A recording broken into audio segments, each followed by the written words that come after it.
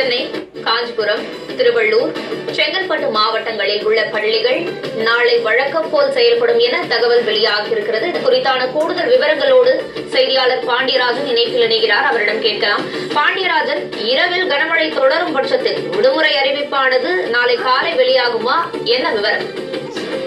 கனமழை எச்சரிக்கையின் காரணமாக சென்னை திருவள்ளூர் காஞ்சிபுரம் செங்கல்பட்டு ஆகிய நான்கு மாவட்டங்களில் இருக்கக்கூடிய பள்ளி கல்லூரிகளுக்கு நேற்று மற்றும் இன்று என இரண்டு நாட்கள் விடுமுறை வழங்கப்பட்டிருந்தது.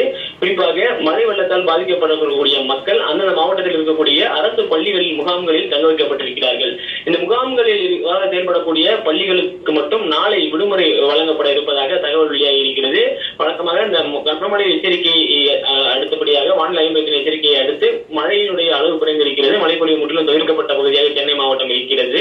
இந்நிலையில் நாளை பள்ளிகள் வழக்கம் போல் செயல்படும் என்கின்ற அந்த தகவல் கிடைத்திருக்கிறது வானிலை ஆய்வு மையத்தினுடைய அந்த எச்சரிக்கையின்படி இன்று இரவு கனமழை பெய்தால் நாளை காலை மழை தொடரும் பட்சத்தில் நாளை காலை அதற்கான அதிகாரப்பூர்வமான அறிவிப்பு பள்ளிக்கான விடுமுறைக்கான அதிகாரப்பூர்வ அறிவிப்பு என்பது நாளை காலை மாவட்ட ஆட்சியர் அவர்களால் வெளியிடப்படும் என தெரிவிக்கப்பட்டிருக்கிறது குறிப்பாக சென்னை காஞ்சிபுரம் செங்கல்பட்டு உள்ளிட்ட இந்த மாவட்டங்களில் இருக்கக்கூடிய மாவட்ட ஆட்சியர்கள் அந்தந்த மாவட்டங்களில் ஏற்பட்டிருக்கக்கூடிய மழை பொழிவை அடிப்படையாக கொண்டு நாளை காலை மாவட்டத்திற்கான பள்ளி மற்றும் கல்லூரிகளுக்கான விடுமுறையை அதுக்கான தகவலை அளிப்பதற்கான வாய்ப்பு உள்ளது.